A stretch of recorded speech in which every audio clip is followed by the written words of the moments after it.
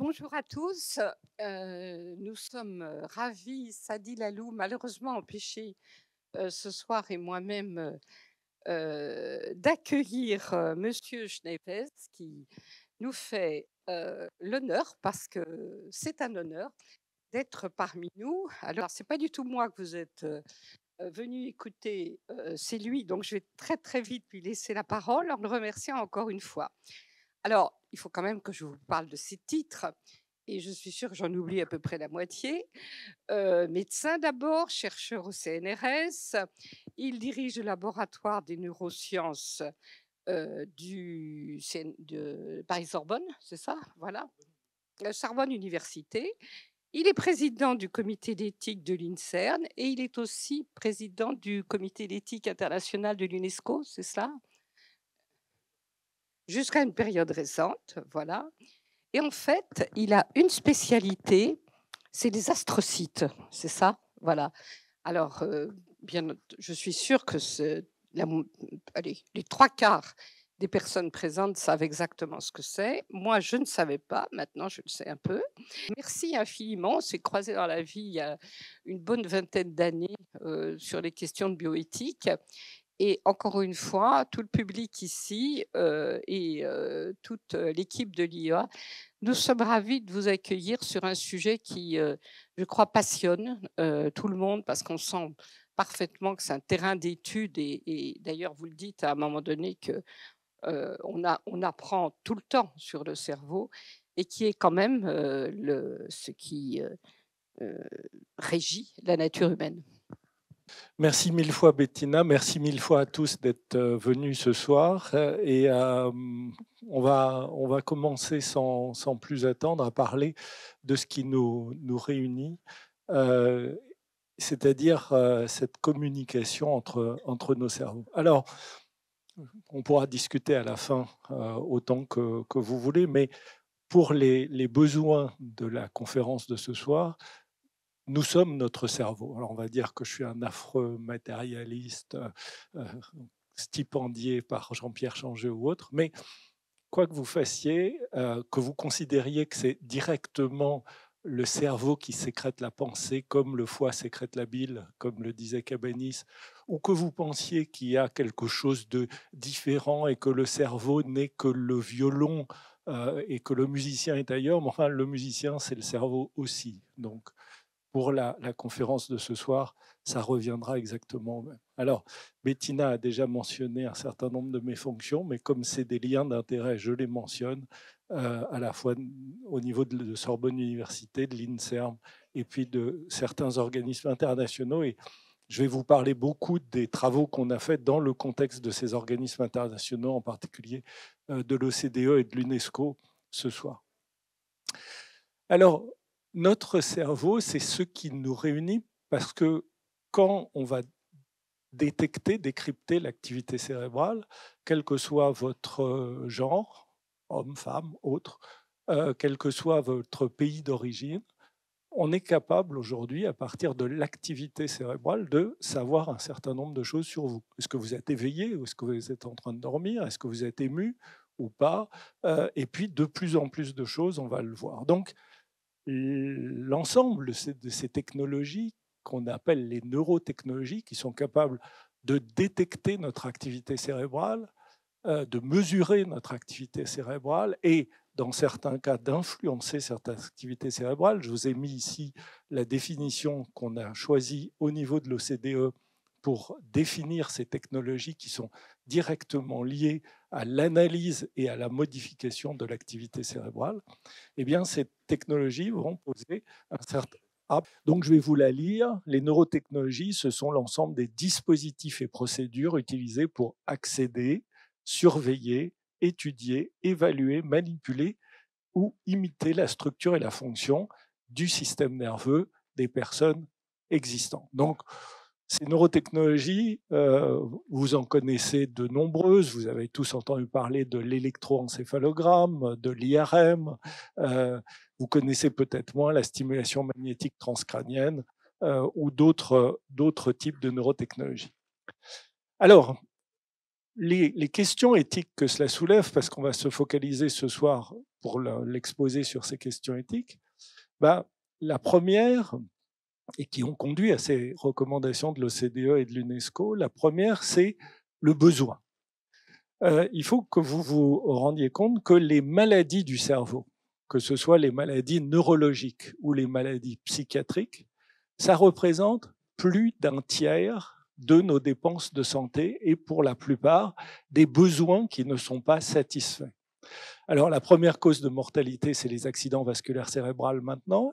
La première cause de handicap chez les jeunes, c'est la sclérose en plaques. Euh, le plus commune des maladies neurologiques, c'est la migraine. 13% de la population chinoise comme inuit, euh, française comme malienne fait des migraines. Et c'est des millions de journées de travail perdues euh, à cause des migraines d'une certaine intensité. Mis l'un dans l'autre, et c'est ce qui conduit à relativiser des grands projets de recherche, comme vous avez peut-être entendu parler du Human Brain Project, qui était un milliard d'euros pendant dix ans sur toute l'Europe, et l'Europe n'a donné en fait que 400 millions, eh bien, les maladies du cerveau, pour l'Union européenne, c'est 1000 milliards d'euros par an que ça coûte. Aux États-Unis, 1500 milliards de dollars par an, pas pour 10 ans. Euh, donc cet ensemble de maladies qui comprennent des maladies terribles comme les maladies neurodégénératives qui font perdre un certain nombre de, proches ou de parents, euh, une épidémie qui est ah, quasiment invisible comme l'autisme, les troubles du neurodéveloppement, l'ensemble du spectre autistique, on considère qu'1,5 à 2% des enfants euh, souffrent de ces troubles du neurodéveloppement, fait que ces besoins non résolus, c'est le premier enjeu éthique. Comment arriver à développer des connaissances du cerveau et les neurotechnologies en sont une partie. Alors on va se poser la question d'une façon un petit peu originale pour l'éthique. En éthique, en général, on dit c'est quoi l'autonomie, c'est quoi le rapport bienfaisance sur malfaisance, c'est quoi la justice? Là, on va se poser la question. Mais toutes ces techniques d'enregistrement du cerveau, un, est-ce que c'est possible? Deux, est-ce que c'est pertinent? Est-ce que c'est vraiment vrai pour certaines maladies? Euh, Trois, est-ce que c'est robuste? Est-ce que ça sert à quelque chose? Et quatre, est-ce que c'est désirable? Alors, est-ce que, est que, ça existe? Ben, La réponse est oui, et d'une façon assez extraordinaire si on regarde les données récentes. Dans des articles qui ont été publiés, c'est bien sûr de la recherche fondamentale, hein, c'est dans des laboratoires, euh, mais avec des, patients qui, se, qui participent aux expériences et qui se prêtent aux expériences. Eh bien, dans des travaux récents, dans ce qu'on appelle du brain to text, la capacité de décoder l'activité cérébrale et de le transmettre à un ordinateur, on est capable maintenant d'arriver pour une personne qui a perdu l'usage de la parole depuis une dizaine d'années, d'arriver à lui rendre une fluence verbale d'environ deux tiers de la fluence normale, c'était en anglais, avec la capacité d'exprimer des émotions dans le, flux des paroles et avec un vocabulaire de 125 000 mots. Donc, une capacité, la personne pense, entre guillemets, la phrase, le mot qu'elle veut dire, et avec une, une valeur maintenant, de, une justesse de plus que 75%, cette personne arrive à faire, via, par exemple, pour un des travaux, un avatar qui apparaît sur un écran, à exprimer la parole euh, deux tiers de, de la vitesse normale et avec les émotions. Un autre exemple, c'est faire marcher des paralytiques. Donc ça, c'est une équipe de, Lausanne qui a réussi à partir là aussi de dispositifs d'enregistrement au niveau du cortex, d'une région du cortex moteur, avec un système Wi-Fi qui ensuite stimule la moelle, arriver à faire marcher quelqu'un qui, qui était paralysé, qui est toujours paralysé, euh, le faire marcher, on le voit, voit, vous pouvez voir des films sur les bords du Léman, une centaine de mètres en toute autonomie. Donc oui, on est capable aujourd'hui de décrypter suffisamment l'activité cérébrale pour faire de la transmission de la phrase que vous, qui apparaît dans votre tête quand vous pensez à une phrase vers un ordinateur avec des gens un peu entraînés et mettre un pied devant l'autre. Je vous rappelle qu'un enfant, il met deux à trois ans à réussir à vraiment mettre un, pied devant l'autre. C'est tout sauf évident d'arriver à mettre un pied devant l'autre. Donc oui, ça existe, c'est en train de se développer, c'est en train de se développer à une vitesse de plus en plus fortes. Là, je vous parle de dispositifs qui sont très invasifs, mais on commence avec de l'imagerie cérébrale euh, type IRM à pouvoir commencer à détecter des phrases avec la sémantique des phrases. On commence avec des stratégies euh, d'électroencéphalogramme à très haute densité. C'est beaucoup moins avancé qu'avec les implants, mais avec des technologies donc non invasives, à arriver à avoir des résultats qui euh, promettent dans les années à venir de venir.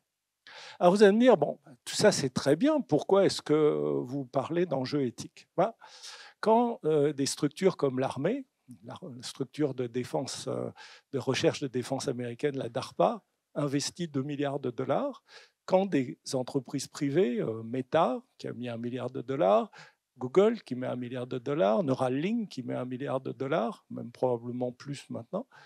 Donc, quand des entreprises privées commencent à se lancer dessus, et l'objectif de Meta, il est exactement ça. Il est que à un moment donné, vous ayez un casque sur la tête et que vous n'ayez plus besoin du clavier de votre ordinateur ou que vous, puissiez transmettre directement un SMS à votre smartphone. Oui, mais enfin, à un moment donné, il y a un traitement du signal. Et non seulement vous pensez euh, n'oublie pas de, les clés avant de partir dans votre SMS, mais vous pouvez penser au même moment, tiens, qu'est-ce que je vais manger ce soir? Et hop, c'est très bien de collecter un certain nombre d'informations qui, au fond, c'est les dernières qui leur manquent. Hein. On leur donne tout comme information, là où on va, ce qu'on achète au supermarché et tout. On ne leur donnait pas encore ce que nous pensons. Ou en tout cas, les, les phrases que nous pensons, bah, ça va venir compléter la panoplie. Alors à partir de là, vous voyez que cette question de l'accès aux données cérébrales euh, nécessite forcément un encadrement et une gouvernance. Et de façon surprenante, on pourrait dire que les données cérébrales, au regard par exemple en Europe du RGPD, sont des données sensibles, donc des données qui doivent faire l'objet d'une anonymisation et d'une protection particulière la dernière réunion que j'ai eue avec des hauts représentants de la Commission européenne, et ça date d'il y a de moins de 15 jours, euh, le, grand Manitou des lois européennes a fait Oh, mais si toutes les données doivent être des données sensibles, on va plus s'arrêter. je vous laisse euh, apprécier tout. La question fondamentale, c'est donc qu'aujourd'hui, avec un certain nombre d'éléments de votre activité cérébrale, en particulier la détection du mode par défaut, qui nécessite d'être dans une IRM pendant une demi-heure, etc. Mais tout ça, c'est des limites techniques qui vont progresser dans les années qui viennent. Mais on est capable de vous identifier par votre mode par défaut, par le fonctionnement. Mode par défaut, c'est ce que fait votre cerveau quand vous ne faites rien. Que quand vous ne faites rien, quand vous ne pensez à rien, quand vous laissez vagabonder votre, votre cerveau, eh bien votre cerveau, lui, il travaille. Votre cerveau, il travaille 24-24, 7 jours sur 7, pendant tout le temps de votre vie. C'est pour ça que le cerveau consomme plus que 25% de l'énergie du corps, alors qu'il fait que 2% du poids du corps, parce que le cerveau fonctionne en permanence. Ce mode, par défaut, c'est des régions de votre cerveau qui travaillent plus, qui sont plus activées quand vous ne faites rien que quand vous faites quelque chose. C'est pour ça qu'on l'appelle mode par défaut. C'est un réseau de, de régions dans le cerveau. Eh ben, ce réseau, pour chacun d'entre nous, c'est aussi bien qu'une empreinte digitale. Vous détectez le réseau mode par défaut, vous savez qui est en train d'être enregistré, quel est le, cerveau que vous avez sous votre euh, appareil. Comment les données qui seront obtenues seront utilisées, voire réutilisées, éventuellement marchandisées, quel respect pour la vie privée, quelles possibilités de surveillance, et je vais vous montrer quelques exemples. Et on pourra discuter tout à l'heure de quelques exemples. Comment encadrer l'usage et comment en éviter les abus? Alors soyons clairs, on n'est pas du tout dans, du manichéisme, et c'est pas le, médecin neurologue que je suis et le, directeur d'un laboratoire de neurosciences où il y a 200 personnes qui travaillent qui va vous dire qu'il faut surtout se méfier de tout ça, avoir peur et tout. Non, si on l'a fait, si on l'a développé, c'est pour de bonnes raisons.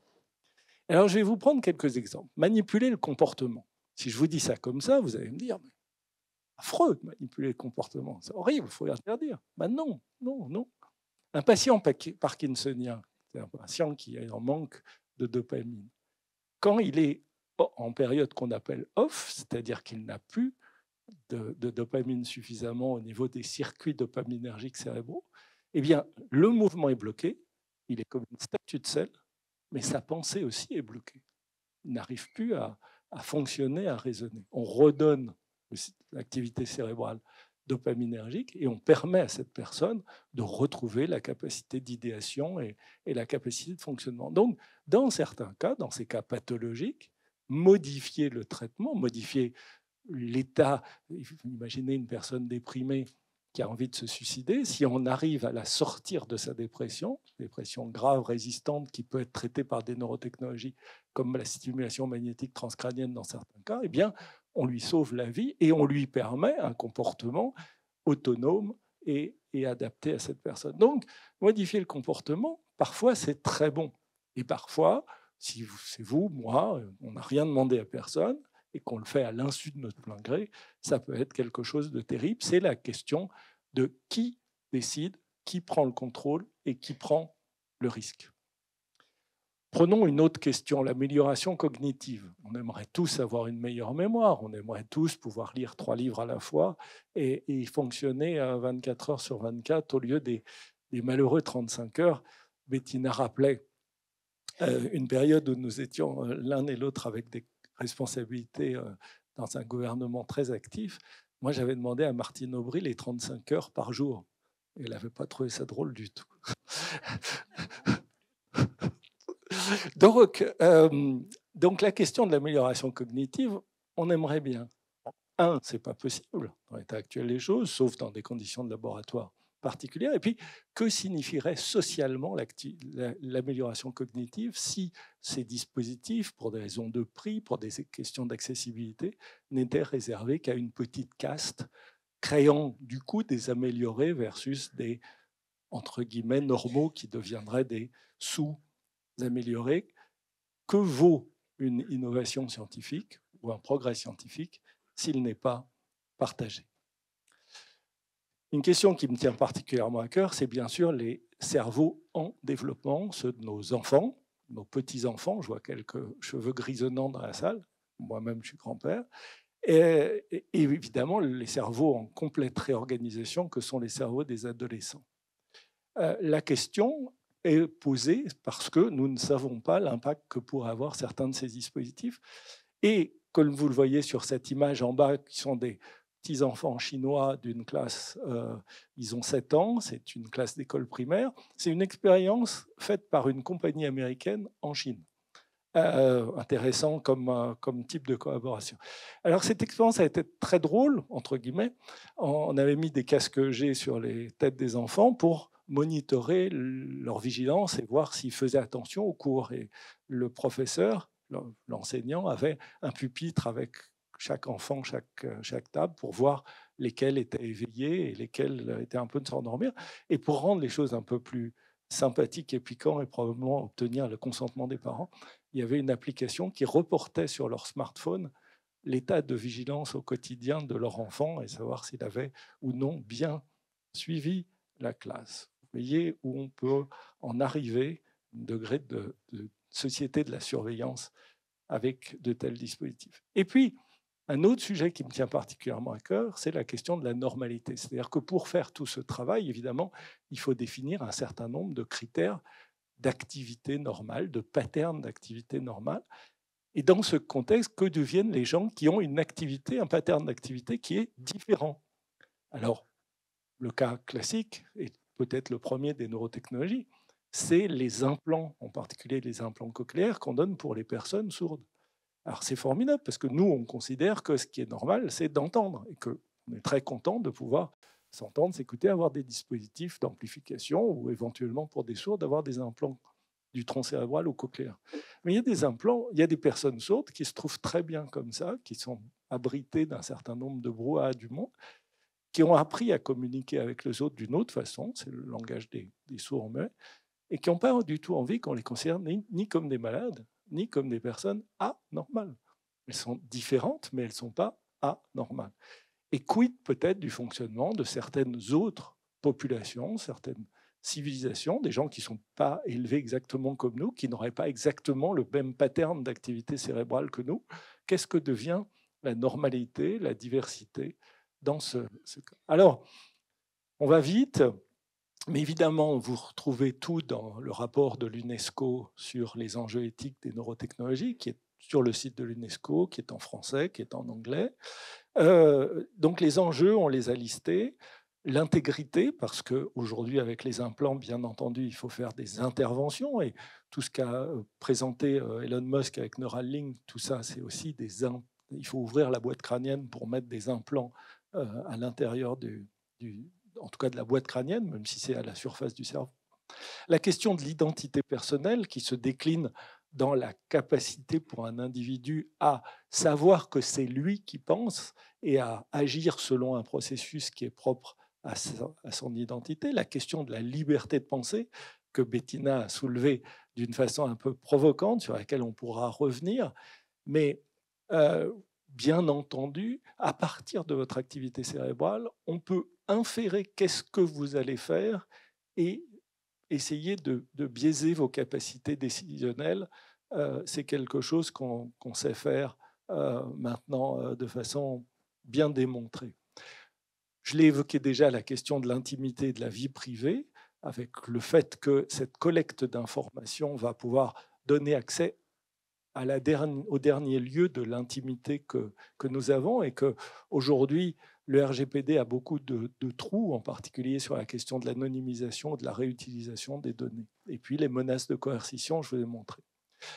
Inversement, des questions de justice redistributive, si les procédés sont nécessaires à un certain nombre de patients, mais qu'ils sont trop chers, ou qu'ils sont en production trop limitée. On l'a tous vécu avec le temps qu'on a attendu pour avoir les vaccins Covid. Pourtant, les vaccins Covid, c'était une quarantaine d'euros, mais on ne les produisait pas ici. On était dépendant de l'extérieur et on a attendu pendant des semaines d'avoir non seulement le vaccin, mais suffisamment de vaccins pour protéger la population. Qu'en sera-t-il avec ces dispositifs? La question du risque de discrimination. Moi, j'ai fait beaucoup de génétique des maladies du système nerveux. J'ai très bien vécu pendant une vingtaine d'années, depuis l'annonce en 2000 du séquençage complet du génome humain jusqu'à il y a 4-5 ans, 2020, euh, sans savoir qu'il nous manquait 300 millions de paires de bases du génome humain. Sur 3 milliards de paires de bases, 10%, une paille. Qu'est-ce qu'on avait fait? On avait pris les génomes de référence des Caucasiens. On avait oublié les génomes africains, on avait oublié les génomes océaniens, avec les grands programmes de séquençage, on a élargi le panel, évidemment, on a découvert qu'il y avait 300 millions de paires de bases qu'on n'avait pas encore séquencées, qui étaient dans les génomes d'autres humains qui peuplent la planète et qui sont pas tous des caucasiens, vous l'avez remarqué. La question du, biais des algorithmes, tous ces dispositifs emportent beaucoup d'intelligence artificielle et euh, on sait que l'intelligence artificielle n'est ni intelligente ni artificielle. Elle procède avec un certain nombre d'algorithmes et elle est écrite par des humains. La question du mésusage, on l'a déjà évoqué. La question de l'augmentation du dopage. Le cerveau en développement, l'intérêt de l'enfant et de l'adolescent. Qu'en sera-t-il pour plus tard Et puis la question du consentement. À quoi consentons en mettant sur la tête ces différents dispositifs qu'on trouve aujourd'hui pour faire des jeux vidéo qui vont changer en fonction de votre état émotionnel ou de votre agitation, qu'on trouve pour faire du neuromarketing, qu'on trouve pour faire de la relaxation, soi-disant pour vous aider à mieux dormir, etc., etc., ce qui sort complètement, bien entendu, du champ de, euh, la, de la médecine. Alors, au niveau de l'OCDE, on a essayé, euh, donc l'OCDE c'est 46 pays, hein, les organisations de développement économique, euh, on a essayé de faire un certain nombre de règles pour codifier le développement responsable de ces neurotechnologies. Je dis on parce que, bien entendu, c'est des gouvernements qui ont adopté cette recommandation, mais il y a eu un groupe d'experts dont je faisais partie qui a préparé la, recommandation. Donc on, on est parti pour simplifier, sur neuf principes. Je vous recommande de, lire la recommandation qui, s'appelle 457, euh, parce que chacun de ces principes est ensuite décliné en un certain nombre d'actions à mener par les différents gouvernements. Alors, bien sûr, comme je vous l'ai dit dès le début, il faut promouvoir le développement des neurotechnologies parce qu'on a beaucoup de besoins non résolus et que c'est une partie de la réponse. Je vous ai fait quelques illustrations. Il faut bien sûr que ces ce soit fiable et que ce soit euh, utile euh, et que ce soit euh, au niveau de coopération internationale. Ce que nous avons rappelé dans ces principes, c'est un bon vieux principe de la déclaration d'Oviedo qui date quand même maintenant de 1997, hein, du Conseil de l'Europe sur le développement de la biomédecine, c'est qu'il faut qu'il y ait une délibération sociétale. Et au fond, ce que nous faisons aujourd'hui, c'est de contribuer à la délibération sociétale. Il faut informer le public et il faut être capable de délibérer sur l'existence et l'usage de ces neurotechnologies. Il faut qu'il y ait des agences de régulation qui soient capables de les connaître et de les encadrer. Comme pour toutes les technologies émergentes, ça a été vrai pour le génome, c'est vrai pour l'IA, c'est vrai pour euh, euh, d'autres techniques euh, euh, en particulier les, données massives, les agences de régulation sont en retard parce que c'est des technologies qu'elles découvrent quand elles commencent déjà à être euh, mises en œuvre. Il faut prendre des mesures de protection pour sauvegarder les données personnelles. Il faut promouvoir une culture d'accompagnement du développement de ces neurotechnologies. Il faut qu'elles aient un but utile et pas euh, qu'elles se développent dans les secteurs les plus marchands, ceux qui ont le moyen de mettre le plus d'argent. La question, par exemple, du neuromarketing, pourquoi il faut absolument qu'on sache ce que vous préférez acheter euh, grâce à, la détection de vos préférences de pensée. Et puis, il faut anticiper les mésusages possibles de ces neurotechnologies. Voilà les neuf grands principes que vous retrouvez. Alors, ces recommandations CDE, on les a déclinées en France dans une charte du développement responsable des neurotechnologies qui a été adopté l'an dernier, euh, vous voyez, en novembre 2022, alors pas l'an dernier, hein, il y a déjà un an et demi, euh, et qui a déjà regroupé euh, une quarantaine de structures, à la fois des organismes de recherche publique, des sociétés privées de, développement biotechnologique, des régulateurs, des agences de, de l'État. Donc cette charte, elle a pour objectif à la fois de favoriser le développement des neurotechnologies, mais en construisant la confiance entre les différents acteurs. Et donc, il faut absolument protéger le patient et le consommateur contre les usages, les mésusages abusifs ou malveillants, et en particulier protéger cette liberté cognitive. Vous voyez, Bettina, j'y crois quand même, euh, et, et, le respect de la confidentialité de ces données personnelles. Il faut qu'il y ait un engagement positif pour faire que à partir du moment où on utilise ces technologies, on ait le choix de pouvoir savoir comment les données vont être utilisées. Il faut absolument qu'il y ait des mesures prises dès le départ, ça s'appelle Ethics by Design, pour encadrer et protéger. Donc l'information doit être précise, claire, le plus complète possible.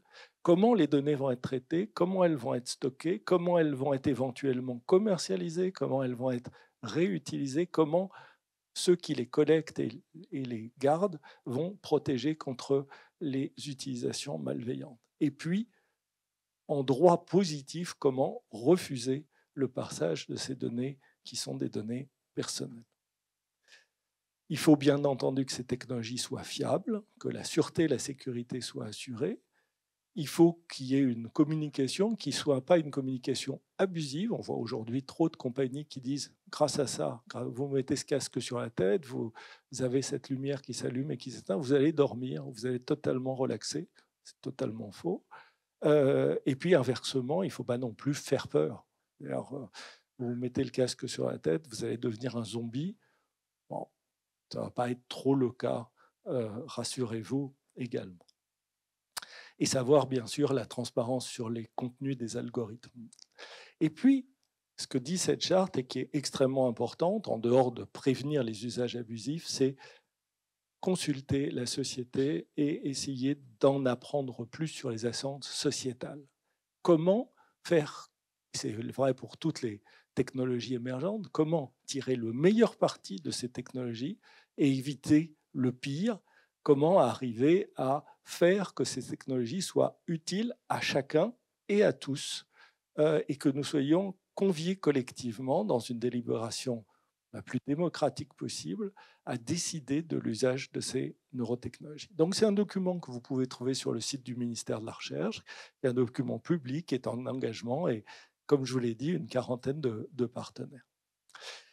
Et puis, je vais terminer cette très brève et très rapide présentation parce que l'important, c'est quand même que vous puissiez vous intervenir et poser des questions, que moi j'essaye de répondre. dans le contexte de, l'UNESCO, donc le Comité international de bioéthique a écrit un avis sur les enjeux éthiques des neurotechnologies. J'en étais un des rapporteurs, parce que aussi j'étais le président du comité à ce moment-là. Et donc, il a été dit à la fin de ce rapport qu'il fallait que l'UNESCO aille beaucoup plus loin et engage un travail pour transformer en droit positif et entraîner un maximum d'États. C'est ce que l'Assemblée générale annuelle de l'UNESCO au mois de novembre dernier a fait en créant une commission qui va rédiger des recommandations sur les neurotechnologies, comme elle l'a déjà fait pour l'IA. Il faut savoir que ces recommandations sont de la soft law, c'est non contraignant, mais que, comme pour l'OCDE, les pays qui composent la structure, les 46 de l'OCDE dans un cas, les 198 pays des Nations Unies dans l'autre, s'engagent d'une façon morale à le transférer dans leur loi, dans leur euh, réglementation. Donc c'est de la soft law qui, en général, devient du hard law assez rapidement. Alors, la première question qu'on s'est posée au niveau de, de l'UNESCO et qu'on se pose depuis plusieurs années avec différents collègues, c'est est-ce que les droits qui faut être attachés aux données cérébrales, les droits du cerveau, qu'on appelle dans notre jargon à nous les neurodroits, euh, est-ce que c'est des choses nouvelles Est-ce que c'est des nouveaux droits de l'homme euh, pour protéger notre cerveau? Certains de mes collègues, comme euh, Raphaël Justi à New York, qui était le, patron de l'initiative américaine BRAIN, qui était l'équivalent aux États-Unis de Human Brain Project, disent oui, il faut créer des nouveaux droits, des nouveaux droits humains. Il faut amender la Charte des Nations Unies pour créer des nouveaux droits humains. Au niveau du Comité international de bioéthique, nous avons dit que oui, il faut reconnaître des neurodroits, mais au fond, ces neurodroits, c'est exactement la même chose pour le cerveau que ce qu'on appelle les droits reproductifs. Pour les droits reproductifs, c'est un ensemble de droits qui fait que vous avez droit à la contraception, vous avez droit à la liberté de votre corps, vous avez le droit euh, à l'accès à des possibilités de procréation médicalement assistée dans certains cas, mais tout ça ne crée pas des nouveaux droits de l'homme, c'est un, un corpus de droits particuliers qu'on peut regrouper. Et nous pensons que les neurodroits, c'est la même chose on ne va pas réinventer la liberté de penser, on ne va pas réinventer euh, le droit à l'intimité, à la vie privée, ces droits humains fondamentaux.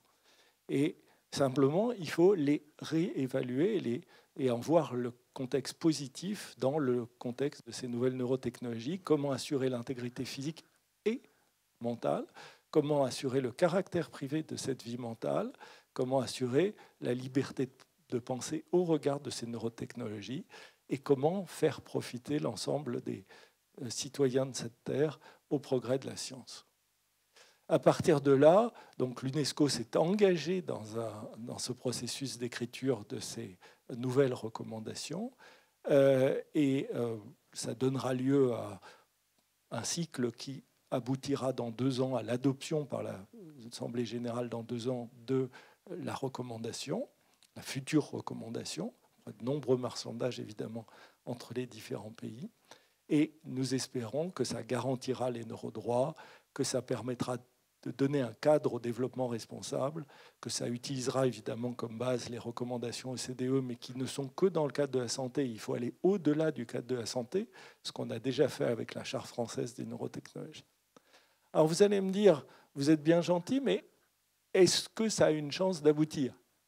Je vous dirais oui, déjà dans la loi française, dans les lois bioéthiques dont Bettina a parlé tout à l'heure, nous avons des articles qui encadrent l'utilisation, en particulier de l'imagerie cérébrale. C'est l'article 1614 du Code civil qui a été introduit dans nos lois de bioéthique en 2004 et qui encadre l'utilisation uniquement à des buts médicaux, de recherche ou judiciaire, de l'imagerie cérébrale fonctionnelle. Et puis dans la dernière révision de la loi, on a introduit un article pour que le ministre de la Santé puisse interdire tout type de neurotechnologie qui, mettrait, qui présenterait un, problème grave pour la santé. C'est un début. Les Chiliens ont été beaucoup plus loin. Ils ont carrément mis dans leur constitution euh, un article pour euh, encadrer la possibilité d'augmenter, diminuer ou perturber l'activité cérébrale. Ils ont inscrit dans leur constitution la protection de l'intégrité mentale. D'autres pays, comme l'Espagne par exemple, sont en train de songer à le faire. Voilà ce que j'avais envie de vous dire rapidement, trop rapidement euh, aujourd'hui. Si vous voulez un article un peu savant, enfin en tout cas un article de consensus qu'un groupe euh, de, collègues, euh, vous voyez que je suis parmi les auteurs, a écrit sur cette question des données cérébrales, en plus du rapport au CDE que vous trouvez en français, en plus du, rapport de l'UNESCO que vous trouvez en français, vous pouvez regarder cette question sur l'encadrement des, données cérébrales. Et euh, merci beaucoup de votre attention.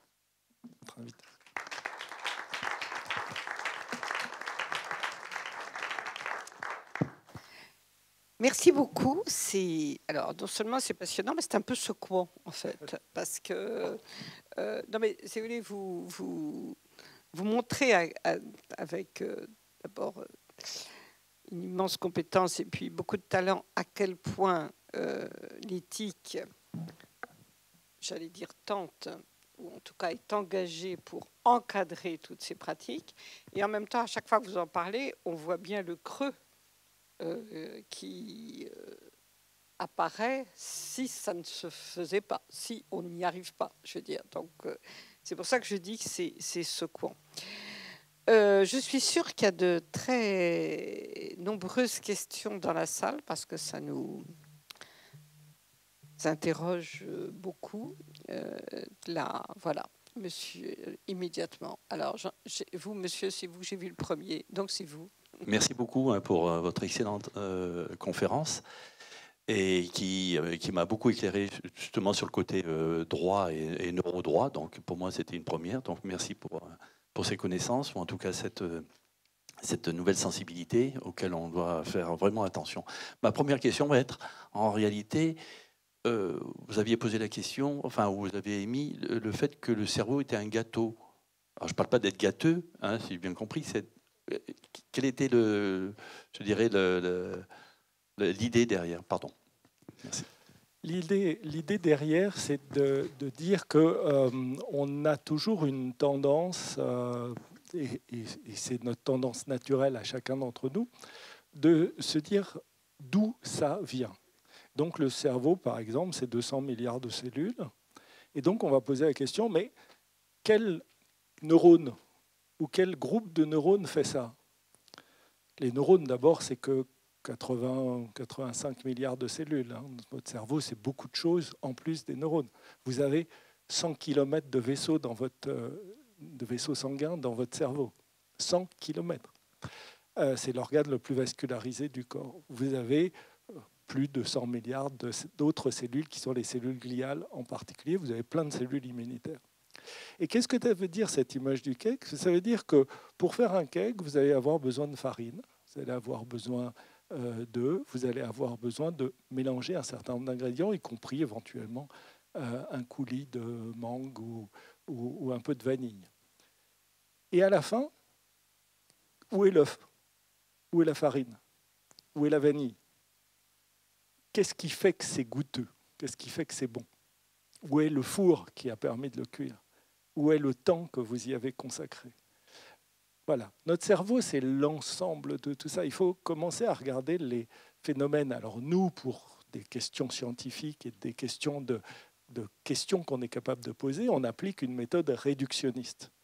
Mais notre cerveau, il ne fonctionne pas selon une méthode réductionniste, il fonctionne selon une méthode holistique. Et les avancées récentes qui ont été faites, alors on parle de niveau microscopique quand on s'intéresse aux cellules, on parle de niveau mésoscopique quand on s'intéresse au groupe de cellules, on parle de niveau macroscopique quand on s'intéresse au fonctionnement global. Eh bien, les grands progrès qui ont été faits, c'est-à-dire comment on a réussi à détecter non seulement la capacité de, lire des, phrases, mais de retrouver la modulation des phrases. Je ne vous ai pas montré, mais il y avait la capacité pour une personne de avec un, automate de manipuler un bâton dans l'espace et de modifier la pression de son point, personne paralysée, de faire ça juste par l'imagination du geste, eh bien c'est en enregistrant des ensembles de cellules. Ce n'est pas jamais une cellule Et ces ensembles de cellules, c'est le fonctionnement coordonné des neurones avec les cellules gliales qui les entourent, avec les vaisseaux qui les entourent. Parce que si vous n'avez pas les vaisseaux, vous n'avez plus l'apport sanguin en énergie, vous n'avez plus l'apport sanguin en oxygène, vous êtes mort. Si vous n'avez pas les cellules gliales, ça ne fonctionne pas plus. Vous êtes en train de faire des crises d'épilepsie permanentes. Et si vous n'avez pas des neurones qui contrôlent d'autres neurones, vous n'avez plus la focalisation de l'information. Notre fonctionnement cérébral, c'est un ensemble qu'il faut maintenant étudier. On, commence à avoir des outils pour l'étudier dans son ensemble et pas dans il y a un œuf ou il y a un peu de farine. Alors ça, c'est encore une, une question complètement fausse. C'est des choses qui, datent du 19e siècle, dans lesquelles on faisait des lésions et on regardait, c'est un peu l'histoire du polytechnicien qui, regarde une sauterelle, qui veut savoir où est l'audition de la sauterelle. Il coupe la patte arrière gauche, elle continue à sauter, la patte arrière droite, elle continue à sauter, la patte avant, et la quatrième patte, et, ah, l'audition est dans la quatrième, la, quatrième patte, elle ne peut plus sauter. Euh, donc, voilà, et c'est à peu près ça ce qui s'est passé sur le cerveau. Euh, il y a des, savants du, du, 19e siècle, avec les moyens qu'ils avaient, qui ont fait un certain nombre de lésions, et quand ils voyaient rien, ils disaient ça sert à rien. Et donc, on n'utilise que, il n'y avait que 5% des lésions qui faisaient quelque chose, donc ils disaient, ils ont dit, il y a 5% du cerveau qu'on utilise. Bon, quand on fait de l'imagerie cérébrale, on se rend compte que non seulement le cerveau fonctionne en permanence, il fonctionne en permanence sur une ligne qu'on va appeler le 100%. Et quand vous faites quelque chose, vous êtes en train de parler, vous êtes en train de bouger un bras, ben ça fait plus ou moins 1 ou 2% d'activité ou, moins 1% d'activité. C'est-à-dire autour de cette ligne de base, même quand vous dormez le plus profondément possible, quand vous êtes au cœur de la nuit, quand vous êtes sans aucun mouvement, etc., le plus bas que vous descendiez, c'est moins 15% de consommation d'oxygène et, d'énergie. Et, ça, c'est vrai pour toutes les parties de votre cerveau. Quand il y a une partie de votre cerveau qui ne fonctionne plus, c'est ou le cerveau en entier, c'est la définition de la mort, ou une partie de votre cerveau qui ne fonctionne plus, ben vous êtes paralysé, ou vous êtes... Euh, voilà. Donc notre cerveau, il fonctionne tout le temps comme un ensemble et en permanence. Merci. Bonsoir, merci beaucoup pour votre euh, intervention, c'était passionnant. Euh, la tour de Babel, ah, désolé. Tour de Babel, euh, donc les hommes et les, femmes qui ne, se qui ne se comprennent plus. Est-ce que euh, finalement le progrès de la technologie, c'est pas d'une certaine façon euh, l'appauvrissement et l'analphabétisation de notre communication dans toutes les sphères, que ce soit l'intime, amoureux ou familial, et également au travail? Moi, j'aurais presque envie de vous dire exactement l'inverse. C'est-à-dire que moi, ce que j'ai envie de vous dire, c'est qu'aujourd'hui, euh, grosso modo, euh, bon, il y, a quelques, il y a quelques phénomènes sûrement dans cette salle qui savent parler quatre ou cinq langues euh, couramment et en, en, comprenant les subtilités. moi, j'en parle deux, une à peu près correctement qui est le, français, l'autre mal, mais que j'utilise comme véhicule utilitaire qui est l'anglais.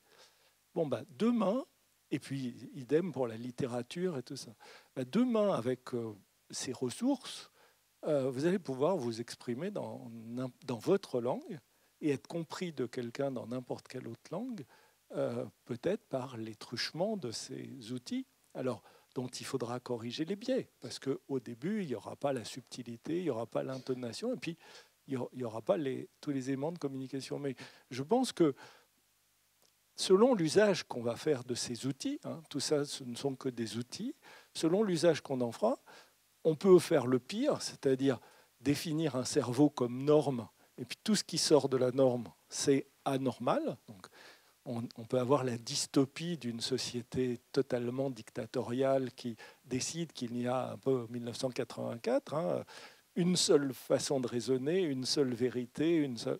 Bon. Et puis, au contraire, on peut avoir le flourishing, l'épanouissement de, la civilisation humaine, où on tient compte de la sensibilité, de la diversité de chacun d'entre nous, et on respecte la, sensibilité de chacun d'entre nous. Et peut-être certaines de ces technologies permettent de beaucoup mieux s'exprimer. Vous avez des gens qui ont une certaine facilité d'expression parce qu'ils ont été dans le bon milieu social, parce qu'ils ont... et puis d'autres qui ont moins de facilité d'expression, mais qui n'en pensent pas moins Peut-être que ces technologies leur permettront de s'exprimer autant que les autres. Donc, non, pas d'a priori. Si je peux poser une question subsidiaire. Alors, je sais bien que dans votre livre, vous dites que faire marcher les neurones, finalement, euh, c'est beaucoup moins productif que, qu'on ne pense. Mais est-ce que, par exemple, pour apprendre une langue, le fait de ne pas l'apprendre, c'est-à-dire de la restituer par la technologie, n'appauvrit pas terriblement l'exercice du cerveau euh, et donc euh, le, le, rend, je dirais, moins réactif, moins intelligent ça, c'est une grande question et vraiment passionnante, mais qui n'a pas aujourd'hui de réponse, ni oui, ni non, ni bien, ni mal. Euh, la, question fondamentale, c'est celle de la plasticité du cerveau. Pourquoi les enfants apprennent tout si facilement? C'est parce qu'ils ont une plasticité cérébrale qui est absolument extraordinaire, et pas, et pas seulement parce que c'est une page blanche. Euh, c'est parce qu'il y a des capacités de réorganisation des circuits et de modification des circuits qui est formidable. Et tout au long de la vie, on continue à apprendre. Hein. même la veille de votre dernier jour, euh, je suis sûr que Jeanne Calment savait ce qu'elle avait mangé la veille. Euh, donc même à 127 ans, elle apprenait encore des choses euh, d'un jour, d'un jour sur l'autre. Donc cette plasticité, euh, elle va nous permettre de, nous remettre en question, d'apprendre des nouvelles choses. À partir de là, est-ce que ces neurotechnologies nous permettront d'apprendre plus de choses, d'être plus plastiques et de, par exemple, de faire de la philosophie, bien sûr en français, mais de, lire Kierkegaard dans le texte, de lire Nietzsche dans le texte, c'est-à-dire que évidemment avec des systèmes d'interprétation, peut-être ça va nous permettre d'être au contraire beaucoup plus ouverts et entre guillemets beaucoup plus intelligents. Et peut-être pas. Donc la, la question, c'est qu'il faut l'évaluer. Donc quel est l'objectif de ces technologies? Donc ethics by design, est-ce que ça sera vraiment utile? Et puis la, méthode qu'on appelle maintenant RAD, c'est-à-dire retour d'expérience sur cette question du développement réellement éthique. Euh, et donc euh, réévaluation, assessment et dialogue sur ces technologies. C'est ça la, méthode RAD. Donc c'est ouvert, c'est le début d'une nouvelle révolution et ça dépendra de la manière dont nous allons l'utiliser.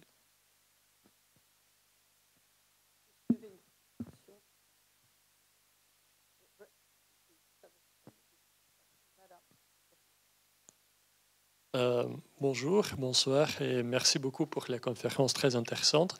Euh, j'ai une question concernant les enjeux euh, informatiques. Est-ce que vous, vous posez aussi les questions qui sont liées notamment à l'exposition de données? Est-ce qu'il y a une coopération, par exemple, avec le CNIL, notamment sur les sujets de le sujet assez récent, notamment la plateforme de données de santé. Est-ce que c'est un sujet qui est dans le champ de considération de cette problématique? Merci. Alors, de façon très intéressante, euh, tout ce qui concerne l'intelligence artificielle et tout ce qui concerne les neurotechnologies vont de pair euh, dans différents comités d'expertise. à l'OCDE, la recommandation sur les neurotechnologies a été en même temps que la recommandation sur l'IA à l'UNESCO, la même chose. Il y a neurotechnologie. Ne serait-ce que parce que cette neurotechnologie embarque beaucoup d'IA. Pour le meilleur, euh, il faut voir qu'aujourd'hui, par exemple, des dispositifs qui permettent à certains parkinsoniens de, vivre une vie quasi normale, donc des implants cérébraux qui stimulent à haute fréquence, qui ont été découverts par des équipes françaises, Bernard Biolac d'un côté, euh, Alim Louis Benhabib de, de l'autre côté. Euh, aujourd'hui, c'est fixe. On les règle, on opère la personne, on met l'implant, on règle la machine, et puis après, qu'il pleuve, qu'il vente, que la personne soit au repos ou qu'elle soit active, c'est exactement le même type de stimulation. Avec l'IA et avec des dispositifs dont on équipe maintenant ces stimulateurs, il va y avoir une adaptation permanente à l'activité de la personne. Et là, ensuite, vient la question éthique.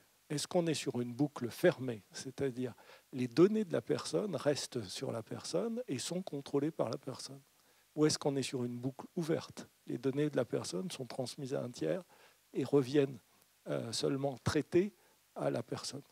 voilà où vous voyez dans, le, saut et dans le choix technologique que l'on fait la, différence qu'il y a. Alors, sur ces questions, le comité d'éthique de l'INSERM a travaillé aussi, en particulier sur la question de, la collecte de données massives, y compris le Health Data Hub. Et je vous renvoie à un avis du comité d'éthique de l'INSERM que vous trouvez sur le site du comité, que vous trouvez dans les archives ouvertes HAL, euh, français et anglais.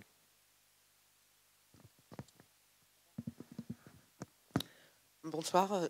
Dans le cadre de la lutte, ou en tout cas de la prévention des risques psychosociaux, est-ce que vous pensez qu'il est envisageable ou acceptable d'un point de vue éthique que l'on mette les neurotechnologies au service des salariés qui sont en souffrance?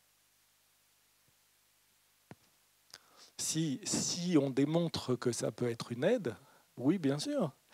Euh, moi, je vais, vous prendre un exemple pour vous montrer que tout, tout ça, ce sont des outils et que tout dépend de leur usage. Et je vais vous prendre une neurotechnologie ou quelque chose qui peut y ressembler, euh, qui existe déjà. Euh, quand vous êtes en train de vous endormir, donc quand vous, voyez la scène que vous avez devant vous, grâce au fait que vos yeux balayent le, paysage devant vous en permanence. Ça s'appelle la saccade oculaire. Si vous n'avez pas de saccade oculaire, vous auriez une tache noire au centre de l'image euh, parce qu'il euh, y a l'émergence du nerf optique, et là où il y a l'émergence du nerf optique, vous auriez un trou noir. Les taureaux n'ont pas de saccade oculaire, c'est ce qui permet aux toréadors d'échapper à la corne s'ils se mettent de côté dans le trou noir du taureau au moment où le taureau charge. Si le taureau était comme nous, qu'il avait des saccades, comme le taureau n'est pas idiot, il repérerait où est le toréador et il l'embrocherait à chaque fois. Donc nous, on a des saccades oculaires et on, notre cerveau reconstruit une image. pour les toréadors. Mais, après, la question de la corrida, c'est encore autre chose. Mais donc, je, reviens à mon, à mon, exemple qui s'appelle le eye tracking. Donc, on a développé dans les laboratoires depuis longtemps des petits systèmes qui mesurent euh, la saccade oculaire et qui permettent de voir si une personne se concentre sur une image, par exemple, euh, ou pas. Et ça permet même, comme ça, ben, beaucoup d'études ont été faites sur des bébés ou sur des nouveau-nés pour arriver à voir leur capacité d'attention ou leur capacité de, focalisation. Donc, ces systèmes de eye tracking, certains équipent des voitures, déjà aujourd'hui, pour être capable de déclencher un buzzer, une sonnerie, pour dire au conducteur s'il il s'endort. Puisque quand la saccade ralentit, ça veut dire que vous êtes en train de vous endormir. Alors, vous voyez que présenté comme ça, c'est un dispositif de sécurité que vous avez sur votre voiture. C'est formidable. Mais bien entendu, votre voiture, elle enregistre tout sur votre ordinateur de bord.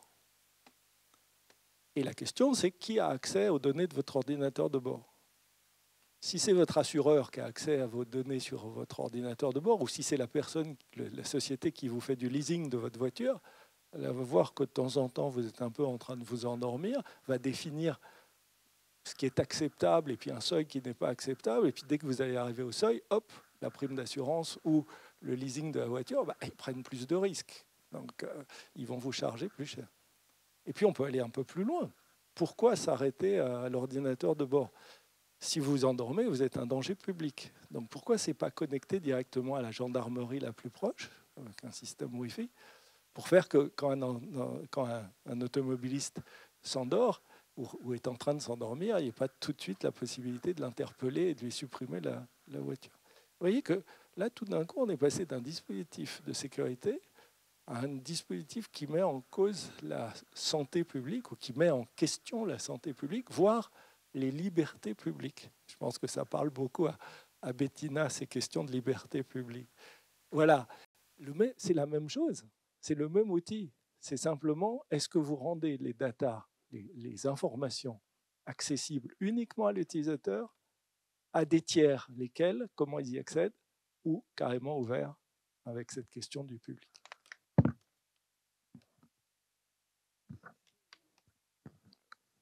Je vais d'abord euh, vous dire que moi, je serais obligée, euh, notre conférencier le sait, de vous quitter plus tôt à cause d'un transport que je dois prendre. Euh, mais du coup, est-ce que vous m'autorisez à poser une question avant que deux personnes la, pause. quand vous dites par exemple que les, toutes ces technologies sont évidemment employées pour tout ce qui est évidemment susciter l'envie, l'achat, la consommation, etc. Vous, avez, vous avez parlé de, de tout cela. Est-ce qu'on ne peut pas imaginer en éthique justement quelque chose de contraire On parle beaucoup, alors c'est l'environnementaliste qui parle de sobriété, etc. Et votre un de vos confrères, Sébastien Boller, a fait un livre en disant que le premier tome du livre dit on y arrivera, ça va être très difficile de changer de comportement pour atteindre des comportements sobres, etc., étant donné que le cerveau humain est fait, dans, les temps anciens, le cerveau archaïque est fait pour avoir, pour se contenter de manière immédiate, pour chercher sa nourriture de manière immédiate. et donc, on a énormément de mal à se le cerveau a beaucoup de mal à se, priver, d'une part, et particulièrement pour le long terme, etc. Alors, est-ce qu'il n'y aurait pas, c'est horrible ce que je veux dire, est-ce qu'il n'y aurait pas, j'allais dire, une manipulation vertueuse à faire? Bon, là encore, on pourrait répondre par pourquoi pas et pourquoi oui. Bon, la réponse est que notre cerveau est quand même un peu plus compliqué que ça. Euh, mais que, euh, alors s'il y a un livre que je dois vous recommander, c'est celui de Daniel Kahneman, euh, les, deux, vitesses du cerveau, cerveau rapide, cerveau lent. On, a le quotidien, l'immédiat, le, ce qu'on fait sans arrêt, et sans arrêt, on vérifie que les choses correspondent à ce qu'on pense avec un cerveau rapide et une logique floue. Pour ça que grosso modo, on est tous assis sur la chaise, on ne pense pas que ça va s'écrouler sous, nos, sous, la chaise, on pense que cette table est dure, on pense pas, etc., etc. On fait des, approximations floues tout le temps et, et on s'y tient. Et puis, là où c'est difficile, c'est d'arriver à remettre en question les choses et d'arriver à se poser vraiment la question.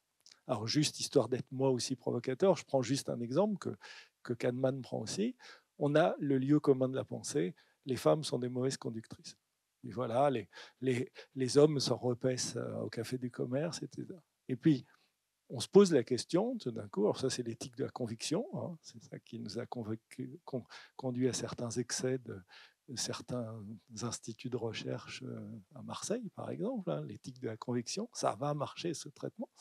Et puis, vous avez l'éthique de la responsabilité. Ah bon, les femmes sont des mauvaises conductrices Comment savoir si c'est vrai, si c'est faux? Allez, on consulte les archives des assureurs.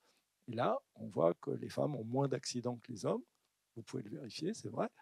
Donc, elles sont plutôt meilleures conductrices, en tout cas au regard de l'accidentologie. Euh, ça, c'est l'éthique de la responsabilité et c'est aussi le cerveau lent. Et donc, la question fondamentale, qui est vraie aussi pour l'environnement, qui est vraie pour tout, c'est comment on arrive et pourquoi? Qu'est-ce qui, quelle est raison, quelle est l'incitation qui fait qu'on arrête de penser flou, rapide, immédiat, euh, avec tous nos biais cognitifs. Je pense comme ça parce que tous mes copains pensent comme ça, donc c'est vrai comme ça parce que tout le monde pense comme moi.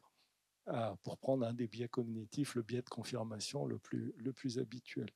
Eh bien, voilà, comment on sort de notre cerveau immédiat, rapide, pour passer à un cerveau, et donc de la conviction, à un cerveau de la responsabilité, dans lequel on, remet en cause nos prêts à penser pour essayer de penser ce que nous devons faire. C'est la responsabilité. C'est un vieux problème philosophique.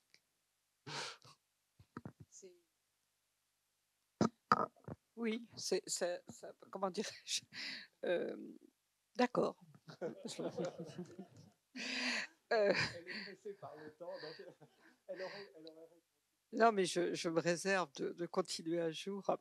Euh, je vous prie de m'excuser, mais encore une fois, c'était euh, prévu.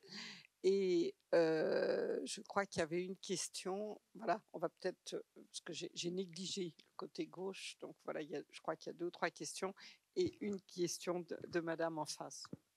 Voilà, merci beaucoup.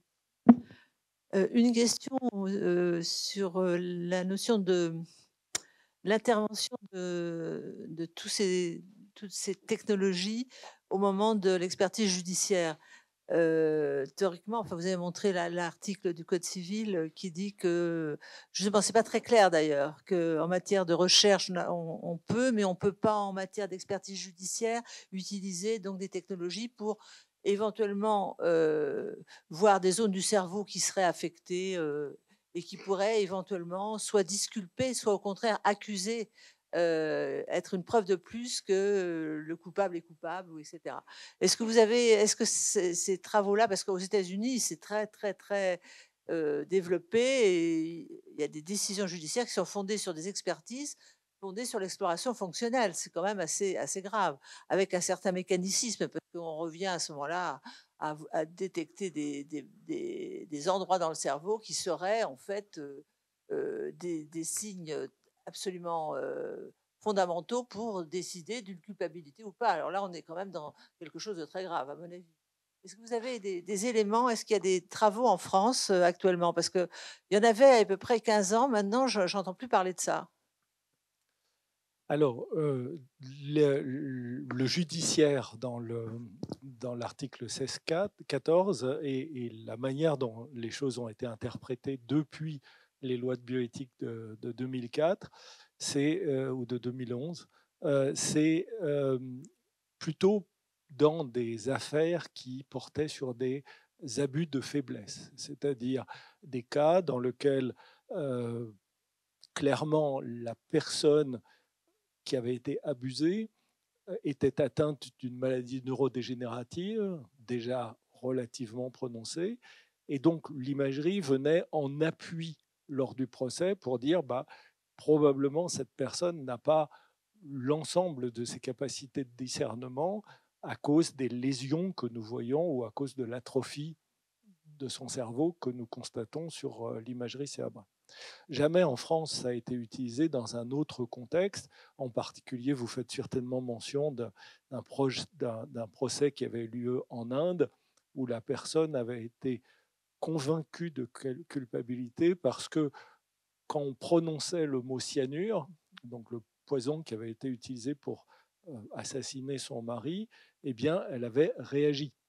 C'est exactement la même chose que pour le détecteur de mensonges. Hein. Ce que fait le détecteur de mensonges, c'est de détecter une réaction, euh, une réaction qui est une réaction végétative euh, de l'organisme, euh, qui, qui part du principe que une personne qui est en train de mentir va avoir tous les symptômes végétatifs d'une émotion renforcée, accélération du rythme cardiaque, transpiration, mais les vrais psychopathes, ils peuvent mentir sans aucune accélération du rythme cardiaque et sans aucun, aucune transpiration. Donc, on sait bien que ces questions du détecteur de mensonges ne valent rien, et on sait très bien que toute détection comme ça d'une émotion, cette pauvre femme dont le mari avait été assassiné, quand elle entendait le mot de poison, le fait qu'elle réagisse était plutôt un symptôme de bonne santé mentale plutôt qu'un symptôme de culpabilité. Donc, on en revient à, ce qu'on a dit déjà à plusieurs reprises, comment on interprète les choses. Alors, quand une personne a une maladie neurodégénérative ou une atrophie du cortex, enfin en général dans un contexte de maladie d'Alzheimer ou de maladie neurodégénérative de ce type-là, on peut argumenter que l'abus de faiblesse est documenté aussi par l'imagerie cérébrale. Dans les autres cas, pas. Et si vous voyez beaucoup moins de travaux là-dessus, c'est parce que euh, ça n'a aucun sens de faire ce genre de travaux aujourd'hui. C'est simple. L'action, le, crime, par exemple, il se passe à un moment donné dans un contexte donné. Le moment du procès, il est plusieurs mois, plusieurs années après, dans un autre contexte donné. Le fonctionnement cérébral ne peut pas être le même. Et encore moins quand vous mettez quelqu'un dans le tube d'une IRM. Donc tout ça ne tient pas la route, et comme ça ne tient pas la route sur le plan scientifique, euh, les études qui peuvent être publiées là-dessus ne sont pas d'un niveau scientifique qu'on peut retenir.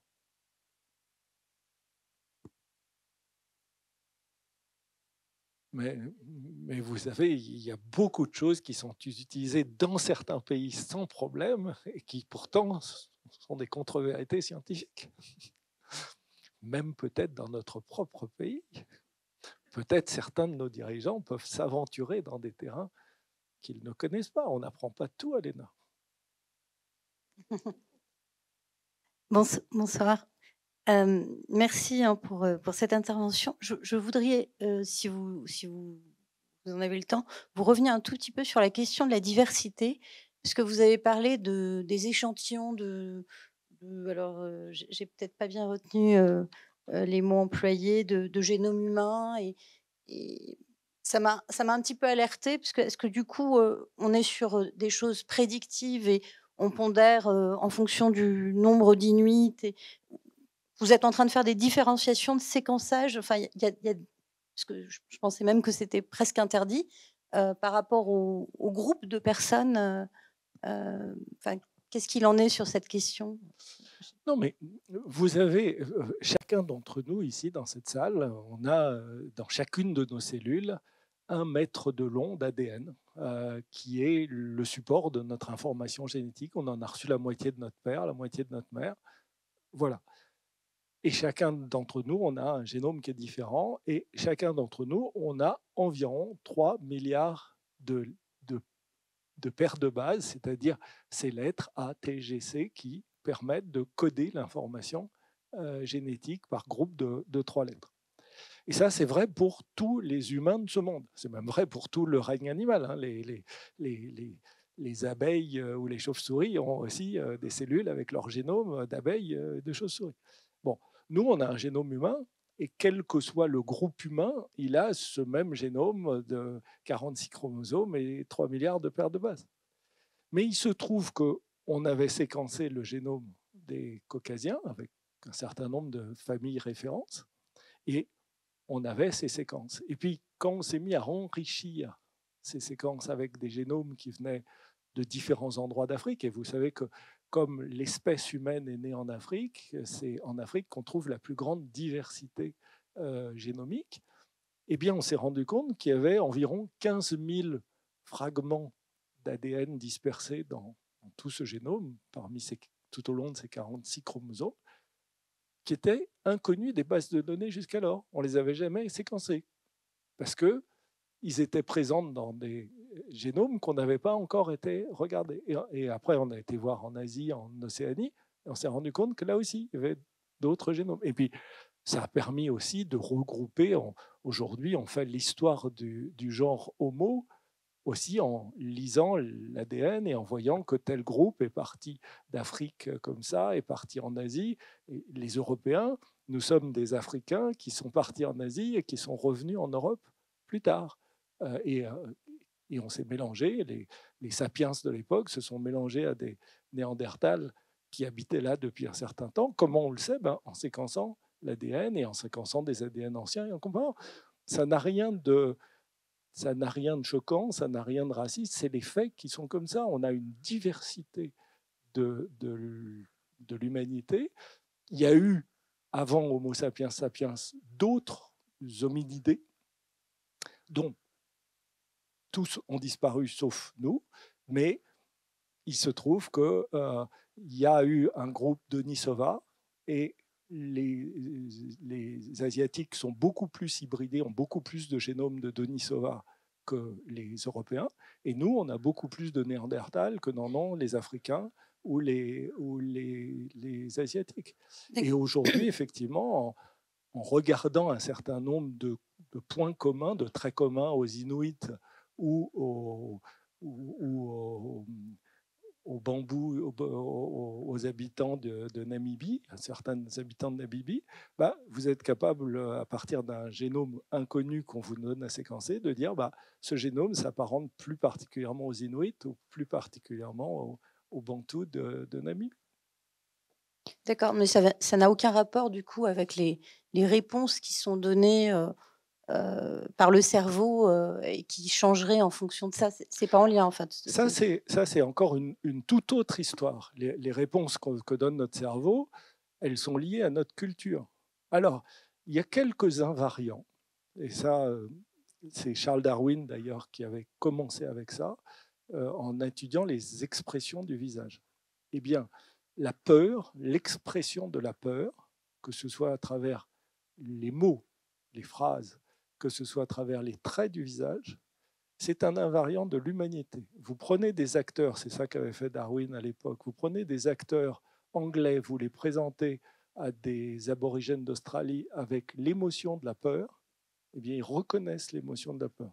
Vous faites lire un texte euh, en bantou et vous le faites écouter à des Inuits. Si ce texte contient l'expression de la peur, les Inuits qui ne comprennent pas un mot de bantou, comme moi d'ailleurs, euh, comprendront la peur. Donc il y a des invariants, il y a des, émotions qui peuvent être transmises à n'importe quel groupe de l'humanité euh, de façon invariante. Puis ensuite, on descend dans l'échelle des émotions. après la peur, il y a la joie. Après la joie, il y a le rire qui est plus ou moins compris. Puis vous descendez dans le des émotions et, vous partez de 100%. Et puis après, vous avez des choses. Et ensuite, vous avez des émotions qui sont comprises par 10% des gens euh, et qui sont uniquement liées à une culture ou à une autre. Ça, c'est encore différent.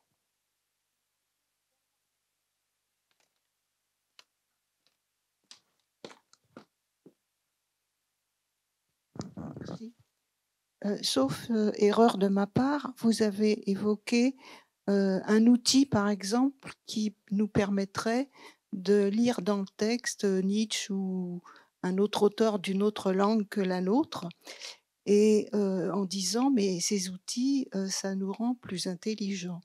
Et, là, je me suis posé la question, est-ce que maintenant on arrive à définir l'intelligence comme plus de connaissances ou plus de capacité de raisonnement? Merci. Normalement, l'un va avec l'autre. Hein. Avez les deux, les deux sens du mot intelligence. Intelligence, c'est l'intelligence avec l'ennemi, c'est d'avoir les informations qui vous permettent euh, de communiquer avec l'ennemi.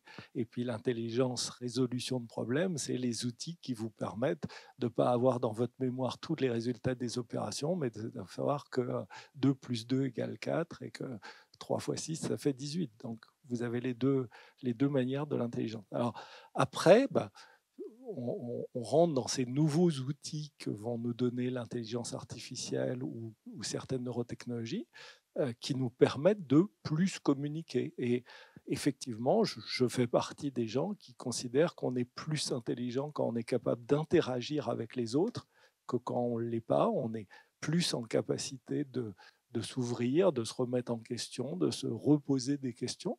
Et donc, si ces outils nous permettent de mieux communiquer, voilà. Alors, on parle, de, on parle du présent, mais on parle surtout du futur. Mais il se trouve que, par exemple, l'an dernier, j'ai voyagé au Japon. Ben, j'avais sur mon smartphone une petite application de traduction qui me permettait de parler en français, qui le transformait en japonais. Et où que j'ai été, j'ai été compris par les Japonais qui étaient en face de moi, euh, y compris une fois chez un pharmacien. Et inversement, les, le Japonais répondait.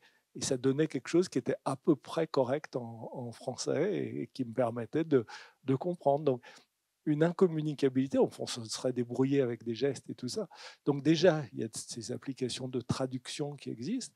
Bon, je pense qu'avec euh, ChatGPT, non pas 4, euh, mais 28, euh, c'est juste une question de développement technologique. Hein. Aujourd'hui, ChatGPT, il il vous trouve le mot le plus proche de l'autre, d'un autre mot, euh, en analysant 300 dimensions, euh, un espace à 300 dimensions. Bon, ben, demain, ça sera un espace à 1000 dimensions, à 10 000 dimensions, et donc l'association des mots sera de plus en plus précise et de plus en plus pertinente. Ça, c'est, c'est juste le développement technologique. Alors après, qu'est-ce que nous en ferons? Ça ne fera pas plus lire si vous n'avez pas envie de lire et ça vous rendra pas plus intelligent si, euh, si intelligente, excusez-moi, si vous n'avez pas envie de, l'utiliser d'une bonne façon. C'est des outils, c'est juste des outils.